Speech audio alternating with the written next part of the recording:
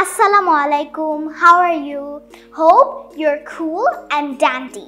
Alhamdulillah, I am keeping cool as well. This is Subha Shafat Shizda. Please call me Shizda because that is my nickname. Please allow me to introduce myself. I am 8 years old and I am a student. I read in Lord's English Medium School and I am in grade 3. So, I love reading books and drawing. Also, I love spending time with my family. Those are my hobbies.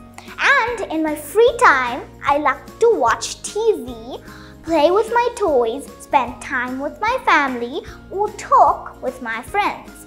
I also like doing activities of different genres. And also, I love to travel. My favorite color is pink and roses are my favorite flowers. And if I tell you about my favorite person, that must be the Prophet Muhammad sallallahu alaihi wasallam. And after that, my favorite persons are obviously my parents. And I also like spending time with my family and enjoying most of the time that I can with my family. And now, of course, surely you would love to know about my aim in life.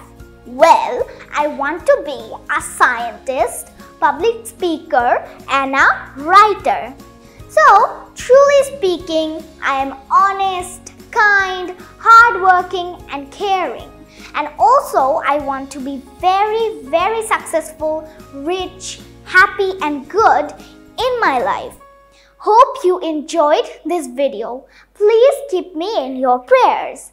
Hope you liked me. Thank you. Allah Hafiz. Assalamu alaikum.